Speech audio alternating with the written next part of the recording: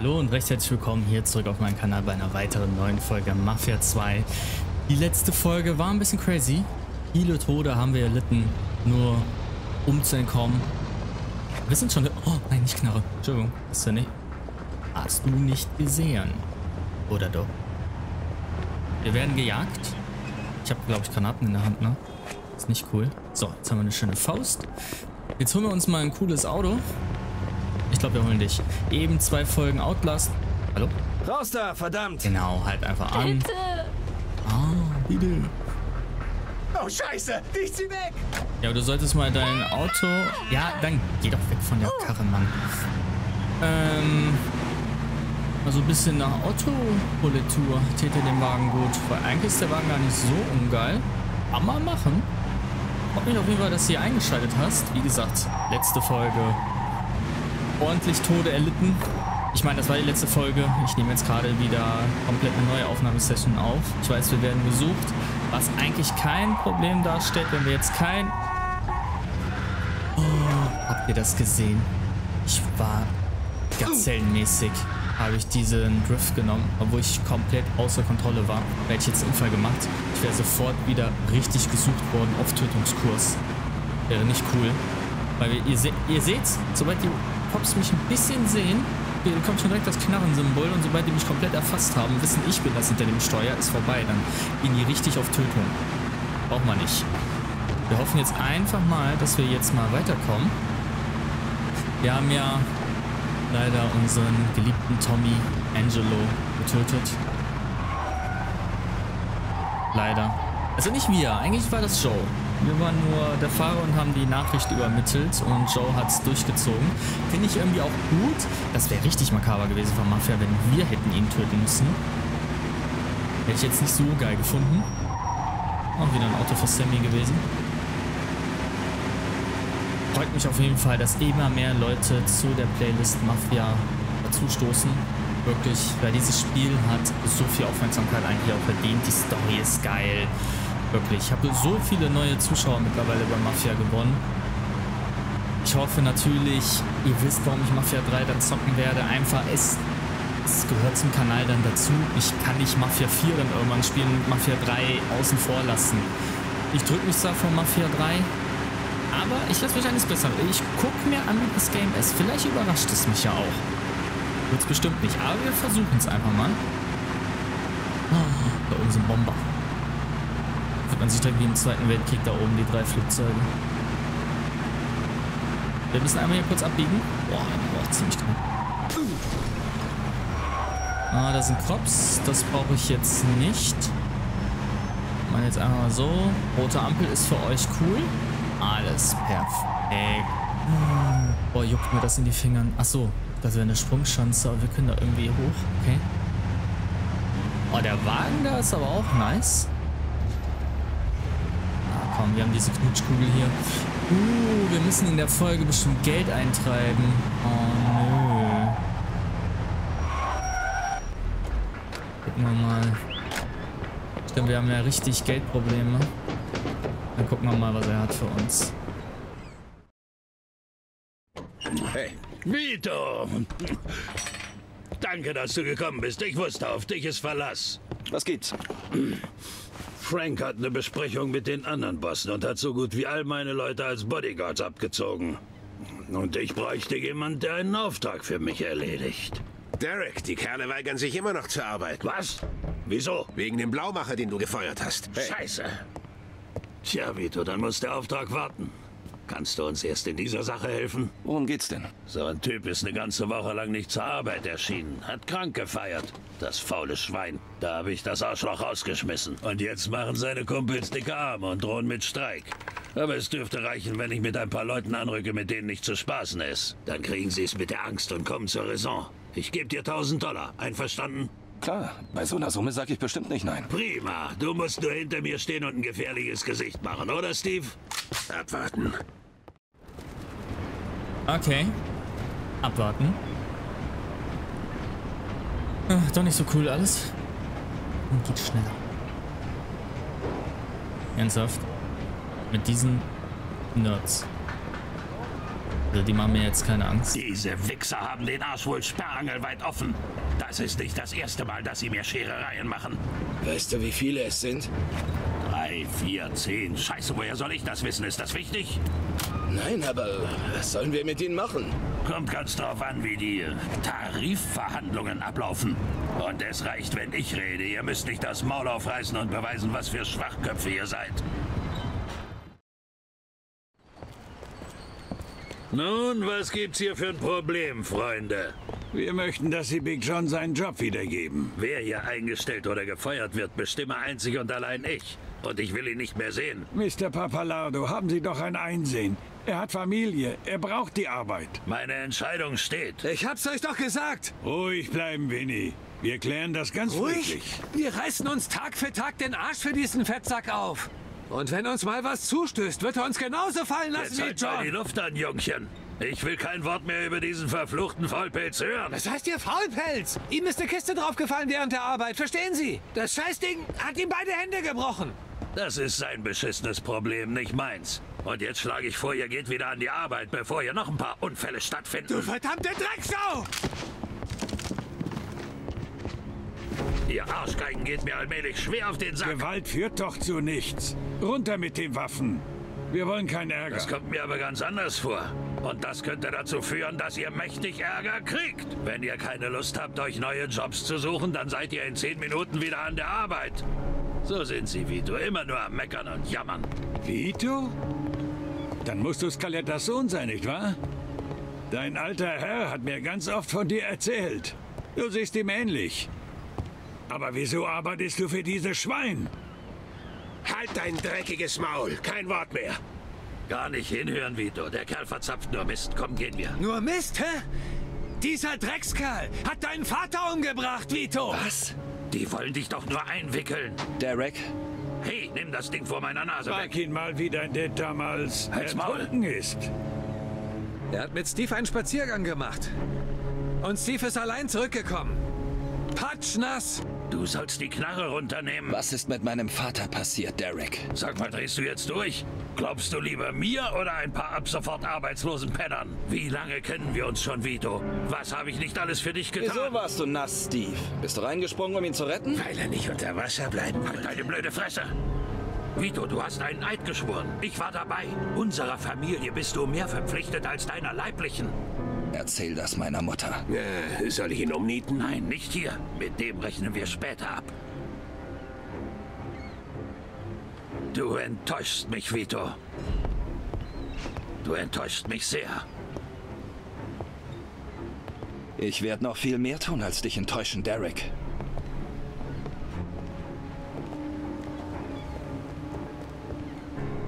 Dein Vater? Nicht jetzt. Ich muss den Kerl erwischen, bevor er abhaut. Hauptsache, der elende Wichser kriegt sein Fett. Winnie, wo hast du die her? Lass mich mal machen. Ja, korrekt, Alter. Die hat Chancen stehen Vater getötet. 50-50. Zeigen wir dem Fettwanst, wer wir sind. Okay, kommt mit, Männer. Das, Das scheiße ist ich sogar auf das Heft. Vorwärts, Vito. Wir geben dir Deckung. Ist zwar kein Ego-Shooter hier, aber hier hole ich meine Skills anders raus. Du wirst genauso enden wie dein Alter. Ja, glaubst du das? Ich werde dich so dermaßen aus dem Leben zerfetzen. Du kannst mich so dermaßen. Ich brauche eine andere Waffe. Ah, guck mal hier. Oh. Bisschen weiter? Okay, die fliegen wirklich nicht weit. War ein Versuch. Tut halt mir nicht. Guck mal, du Kollege da. Das Problem an Sturmgewehr,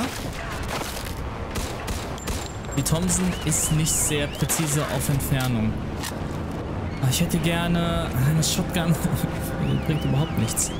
Und dann richten wir das jetzt anders. So. Du hast mich getroffen mit der Shotgun von da. Ist klar. Komm, zeig dein hässiges scheiß Drecksgesicht hier. Wer schießt denn hier?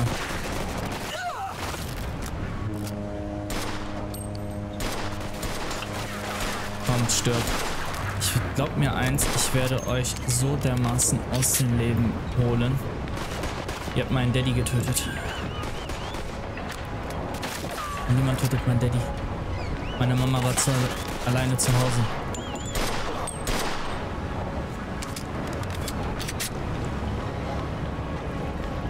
Ich werde euch alle... Warte, du siehst ein bisschen aus wie Derek, ne? Ist der Derek? Sieht so aus, oder?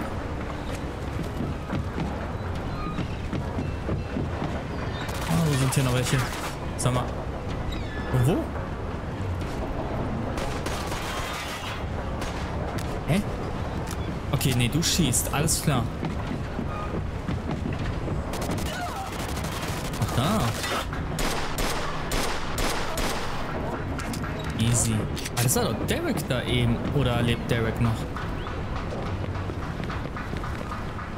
Nein, Delta. Heftchen jetzt nicht. Ich glaube, da lag nämlich eins. Ich glaube, dass ich das damals da gefunden habe. Aber ist jetzt egal. Wir rechnen unseren Vater. Das ist jetzt viel wichtiger als jedes kleine Heftchen. Und das sage ich. Ich liebe die Heftchen. Aber heute nicht. Heute wird Blut gesucht. Wir müssen sterben.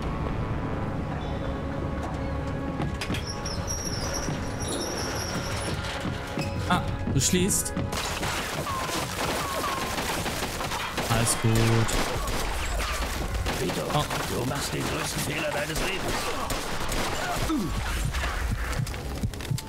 Ja, den mache ich, wenn ich dich leben lasse. Oh, du Drecksschwein. Wenn wir mit dir fertig sind, bist du Rattenfutter. Boah, Headshot habt ihr gesehen. So, jetzt lebst nur noch du. Deine ganzen Kollegen sind tot. Alle. Ah, nee, nicht alle.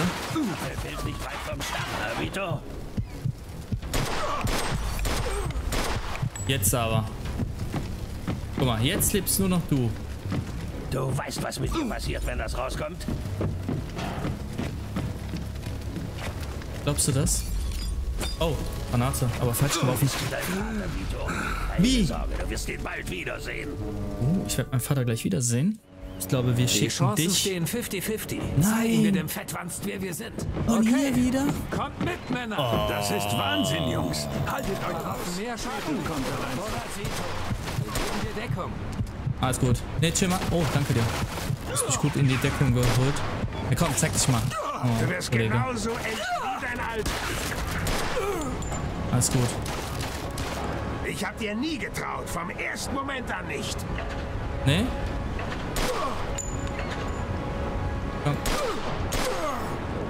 Derek.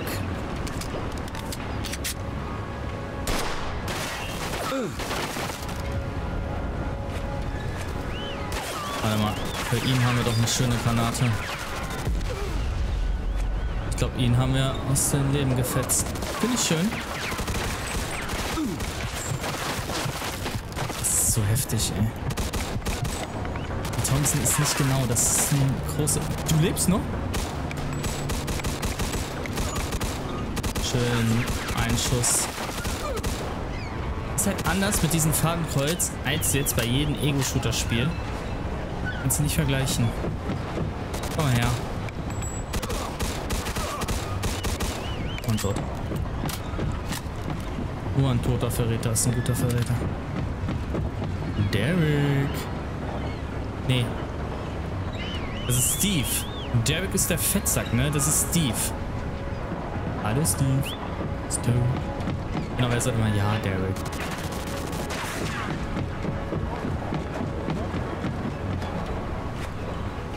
Guck mal, jetzt holen wir mal die Pistole. Boah, habt ihr das gesehen aus der Entfernung? One-Shot in your face der Hölle. Finde ich gut, aber jetzt machen wir was anderes. Jetzt gehen wir mal kurz hier hin.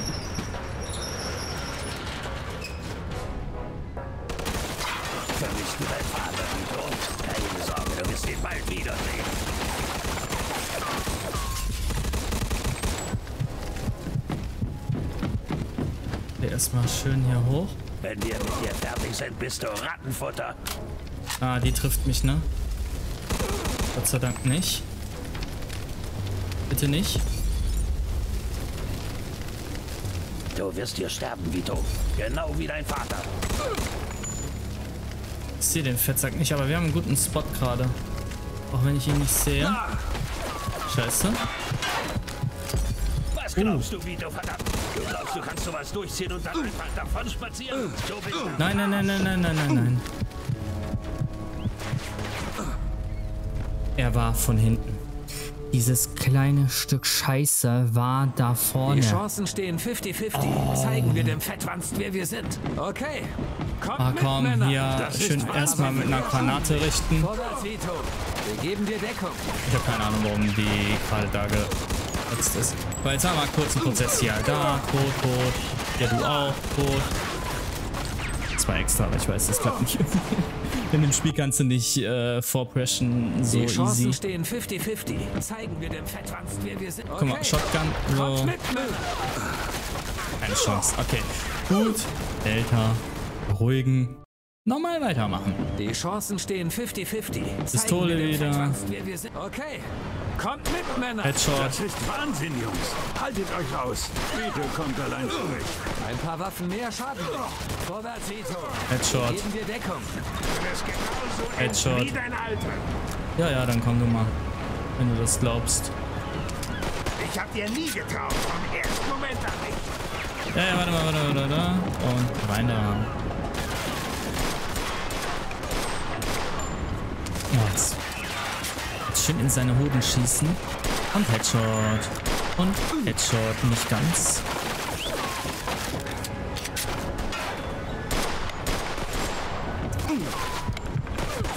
Und du, ein Stück Scheiße triffst mich, ne? Komm her. Ja, klar, von da hinten. Komm mal her. Jetzt zeig dein scheiß hässliches Gesicht. Ey, diese Grafik hier, ne, das liegt ja am PC. Leider Definitive Edition nicht gut hier umgesetzt. Ja komm, zeig dein Gesicht. Und tot. Ach da. Ernsthaft? Haut Derek ab oder wie?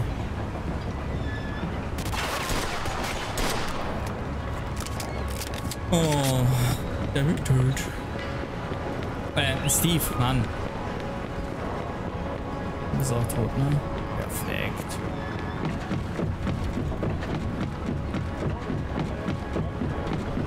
Muss einmal kurz auf die Leiche pissen. Da. Ich piss auf deine Leiche. Hier. Dass mein Vater getötet hat. Das geht gar nicht. So, Delta. Cool. Kurz hier hin. Du wirst hier sterben, Vito. Genau wie dein Vater. Ist gar nicht cool. Wenn wir mit dir fertig sind, bist du Rattenfutter.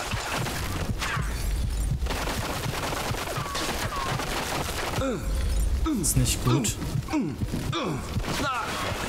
Das regelt Vito. Kein Problem. Bin gleich wieder tot. Okay. Was ist mein Problem hier? Die Chancen stehen 50-50. Zeigen wir dem Fettwanst, wer wir sind. Okay. Ja, wir haben richtig Probleme mit, hier. Männer. Das ist Wahnsinn, mehr Haltet Vorwärts, Vito. Wir geben dir Deckung.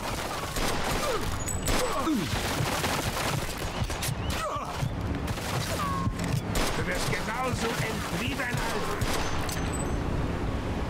Und zeig dich bitte. Ich hab dir nie getraut, vom ersten Moment an nicht.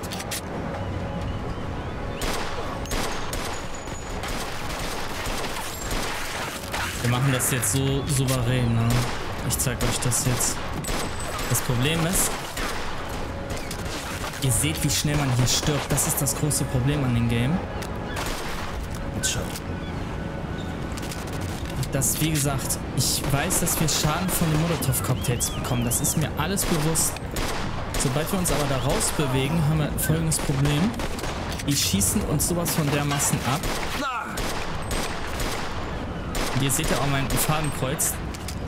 Ist nicht easy. Ich glaube, alles cool. Ich glaube, wir haben schon aufgeräumt. Okay, guck mal.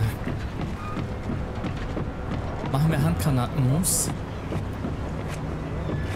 Handgranaten-Moves.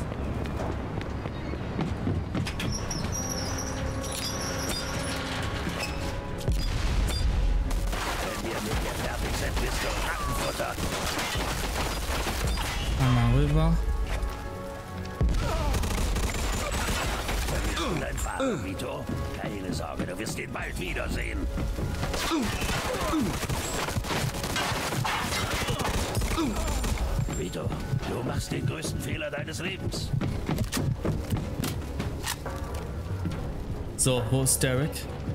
Ach, gut. Der Apfel fehlt nicht weit vom Stamm, Herr Vito. Ja, komm, zeig dich mal. Oh, den wirst du leider gut. Du weißt, was mit dir passiert, wenn das rauskommt?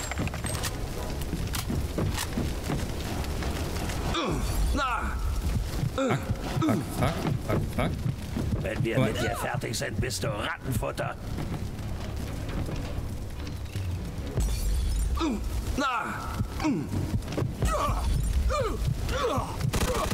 Was glaubst du, Vito, verdammt?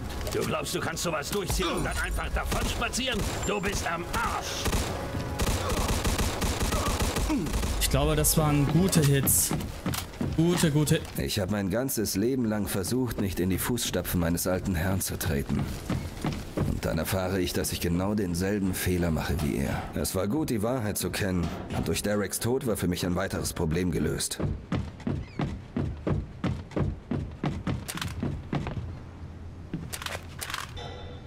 Ja.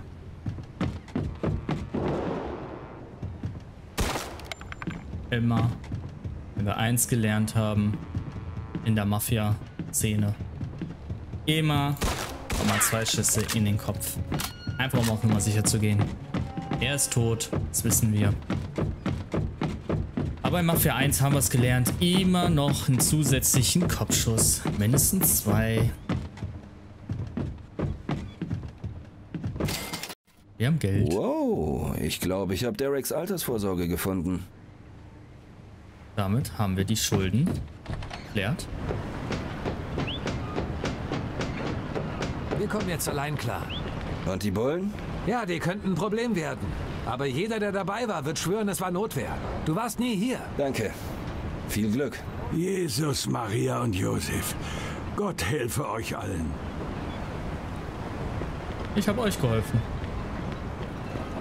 Ihr habt keine Probleme mehr. Ihr habt nicht mehr so ein Arschloch als Chef. Ne? Könnt mir Danke sagen. Ist aber aber stabil, ne? Puh, das war aber ziemlich stressig. So, warte mal. Wir haben doch jetzt das Geld, oder nicht? Info.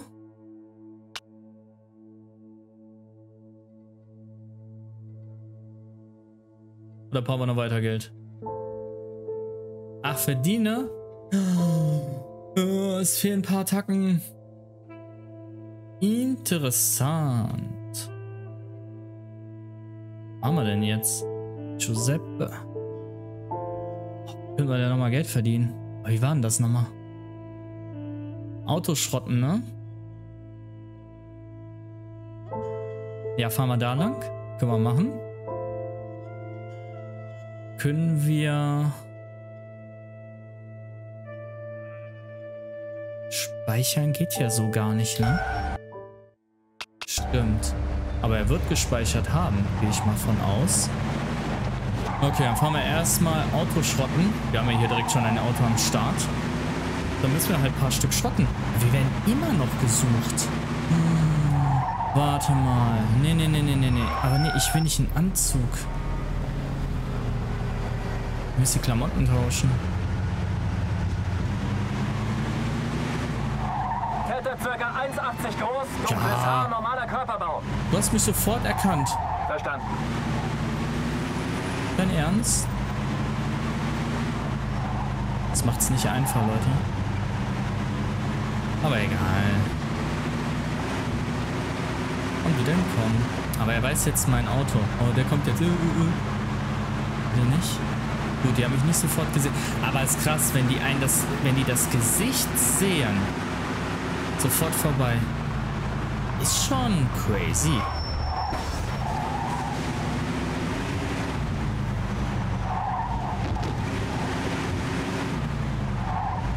Er schießt sofort.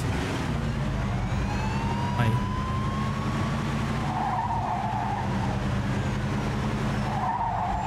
Ja, ist nicht toll. Aber ich will eigentlich erstmal sofort fliehen. Weil ich habe keinen Bock jetzt einen Anzug zu kaufen. Ja, wir könnten eigentlich auch fahren zu Joe. Uns umziehen. Wäre auch gut. Bitte schnell weg, bevor das auflädt. Ach Gott sei Dank. Aber hier ist Joe. Guck mal, guck mal. Äh, nee. Ist unsere alte Hütte. Oder ist es noch Joes Hütte? Ich achte nie darauf. Warte mal. Joes Hütte. Ja, genau. Haben wir folgendes. Das machen wir jetzt auch. Guck mal. Gehen jetzt hier rein. Gehen einmal hoch.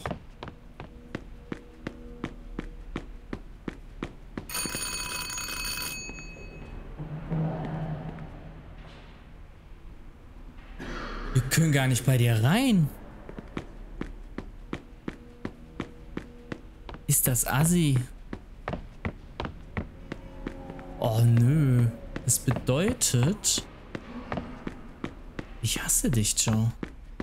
Ich will mich bei dir umziehen. Oh, ist das undankbar. Ach, da ist direkt einer. Und der schießt sofort auf uns. Bitte, komm mal her. Raus da, verdammt!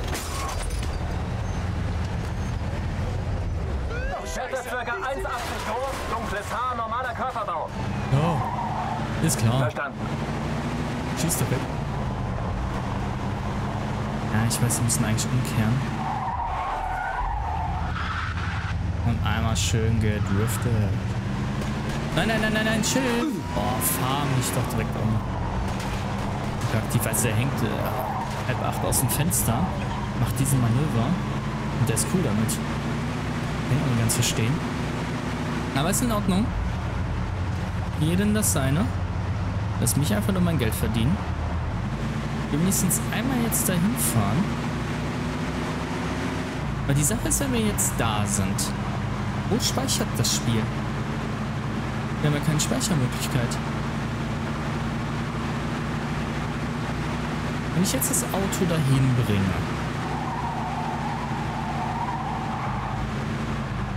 Ah, schon wieder Cops und die müssen genau in die Richtung. Biegt auch nicht ab. Ah, nee, aber wir sind fast da. Alles cool. Sehr schön. Dann können wir einmal hier. So, jetzt sind wir cool hier. Jetzt bringen wir erstmal das Auto weg. Ich weiß, ich mache mir das Leben unnötig schwer. Kann man in den Game eigentlich das Auto auf den Kopf auf Versehen hauen? Stimmt, oder? Das war ziemlich knapp eben. Guck mal, ich bringe das Auto jetzt hier rein, weil wir kriegen nämlich Geld dafür. So, einmal so. Und... Oh, achso. Nee, wir müssen ja selber noch Hand anlegen hier.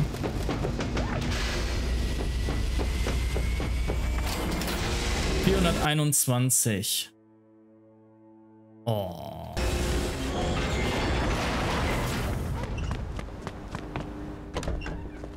Was sagst du? Ich glaube, Mike ist kaputt.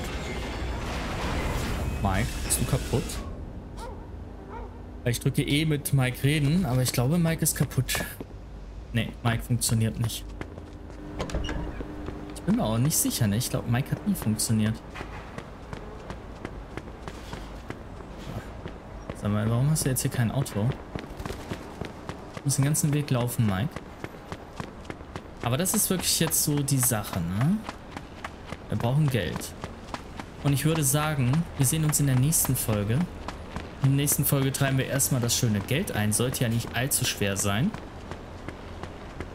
Ich schätze vier, fünf Autos. Und dann schauen wir mal, wie die Reise weitergeht. Ich nehme euch aber auch dabei dann auf jeden Fall mit. Gehört zum Spiel. Nicht wenig alleine leiden.